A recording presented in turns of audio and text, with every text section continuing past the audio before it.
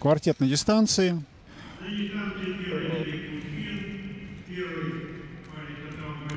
Ну, э, дистанция 10 километров является довольно экзотической, так скажем, для российских коньков сейчас, потому что тут о чем говорить, если только 5 человек вышли на старт отборочных соревнований, и, конечно, тут не приходится как-то доказывать то, что у нас это все находится в хорошем состоянии, что называется, цветет и пахнет.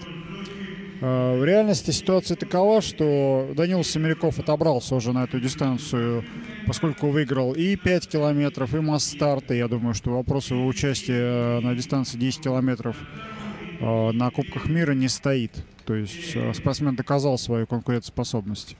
Те, кто не доказали, те, кто не очень хорошо сбегал пятерку вчера, они выйдут на старт сегодня, чтобы через победу, через второе место все-таки обозначить свои притязания на участие в этапах Кубка мира, чтобы сегодня на тренерском совете у их личных тренеров, у представителей их регионов были какие-то дополнительные козыри для того, чтобы выложить их на стол при принятия вот этого вот решения, о котором много говорят в последнее время. Ну, могу сказать, что тройка сильнейших стайеров, на мой взгляд, э, пока не сформирована. То есть можно говорить о том, что сильнейшие, наверное, сейчас это Семеряков и Румянцев.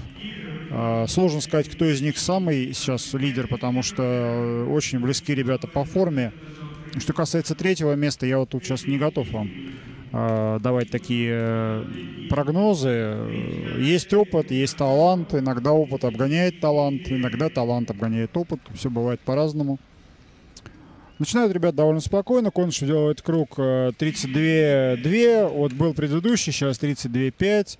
Ребята начали по 32-4 Серяев, 31-2, кстати, Захаров. Руслан немножко, может быть, не чувствует пока эту дистанцию. Вот сейчас он, судя по всему, здорово сбросит. Да, 32-7 сразу делает круг Руслан, потому что, судя по всему, Сивков ему сказал, что надо как-то поспокойнее.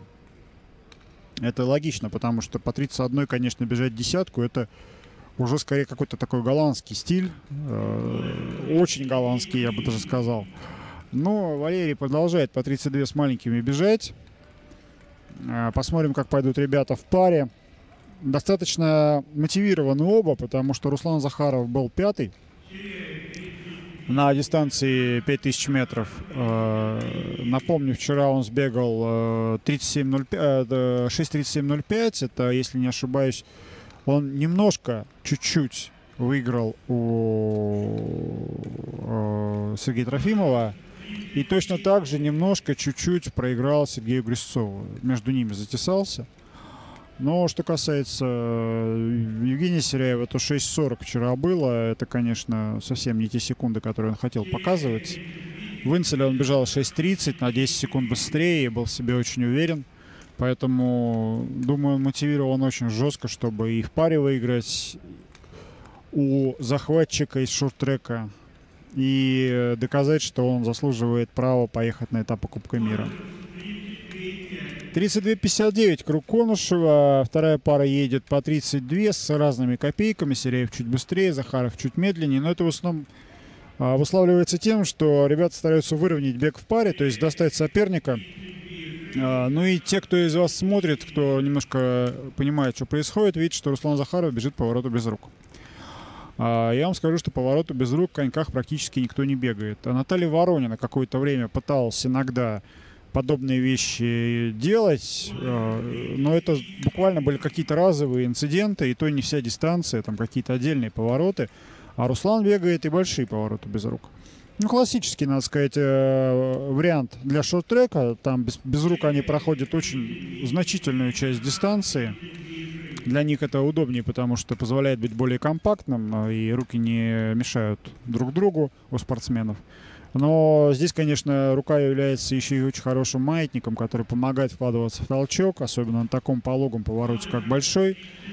А, по 32-5 едет, едет вся тройка участников. Валерий Конышев оказывается в достаточно тяжелой ситуации.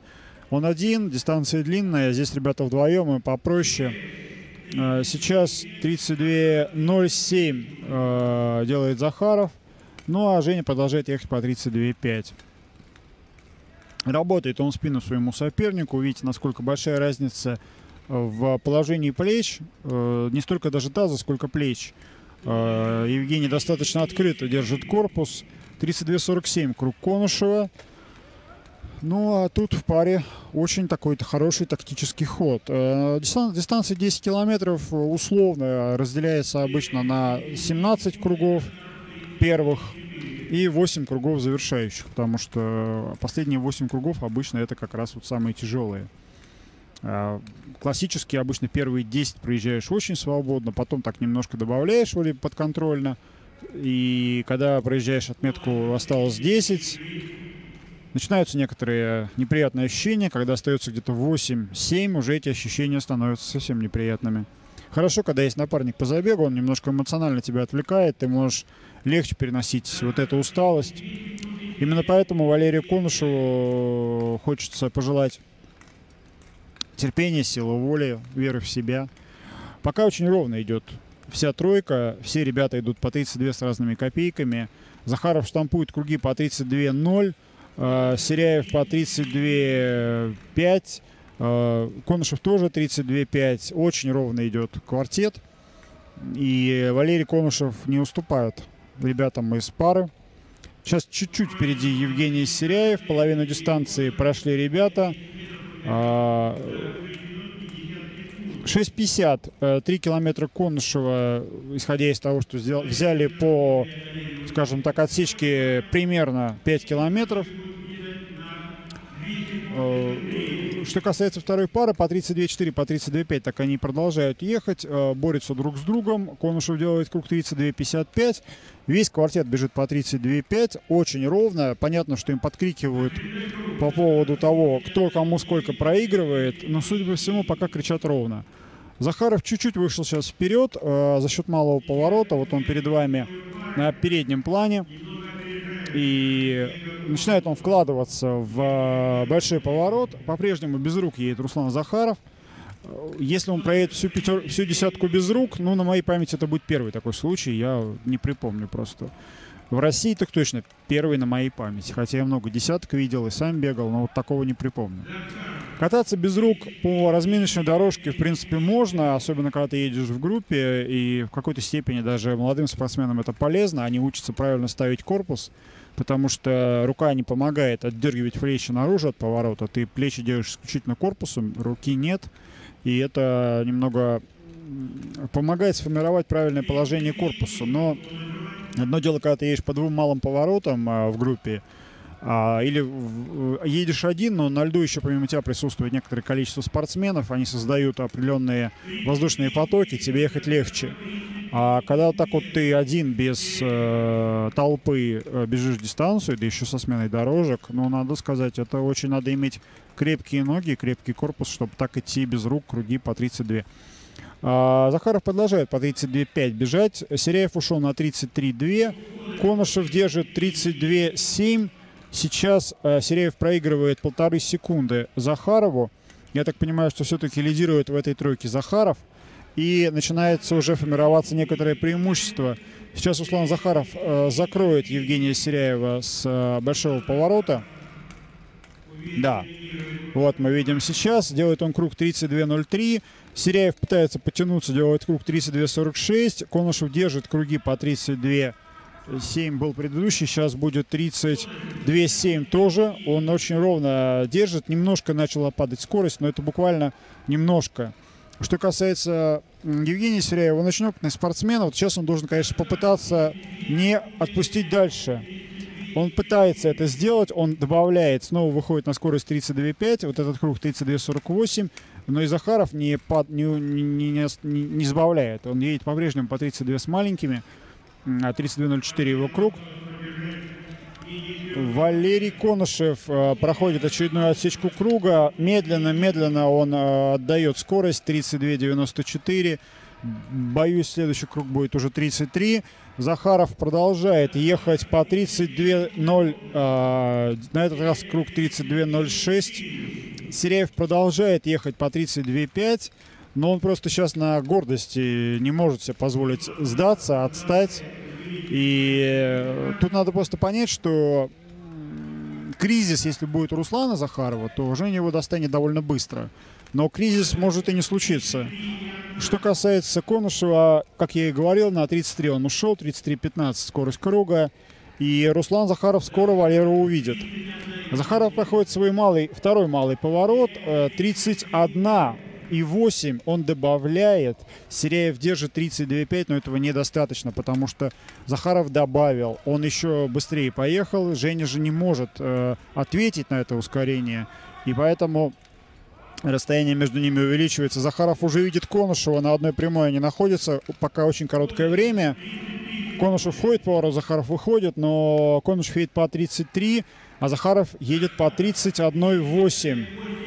И сейчас он будет видеть Валерия все ближе и ближе. И я повторю, Руслан едет без рук. То есть, ну, это феноменальный бег на самом деле. Для меня я вот такое не припомню.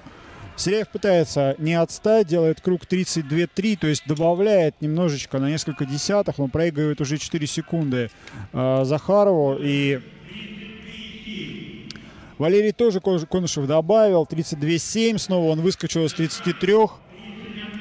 31-9 делает круг Захаров, а Серяев 32-6 круг делает Серяев. Очень ровно бегут ребята, но просто в какой-то момент Руслан Захаров добавил скорость, добавил э, ход, и поэтому пошел намного быстрее, чем, свой, чем его соперник Евгений Серяев.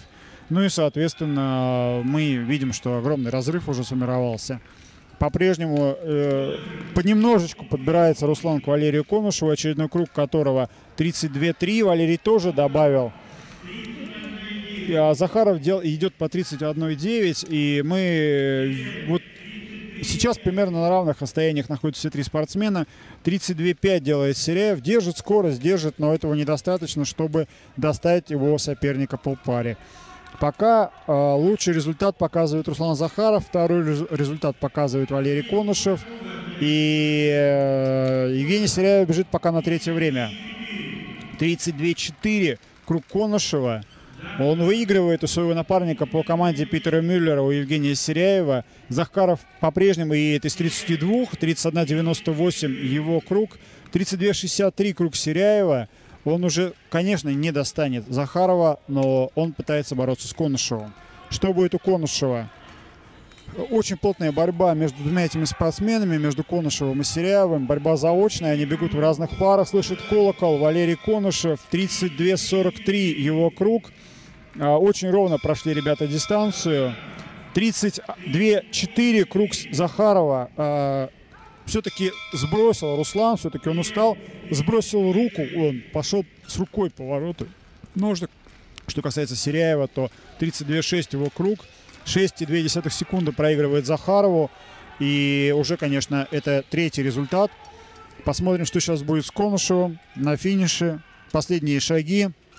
И Валерий Конышев 13, 39, 45. Ну, это личный рекорд, причем с огромным просто 15 э, секунд скинул Валера с личного. Я его поздравляю, он большой молодец. 13.30 э,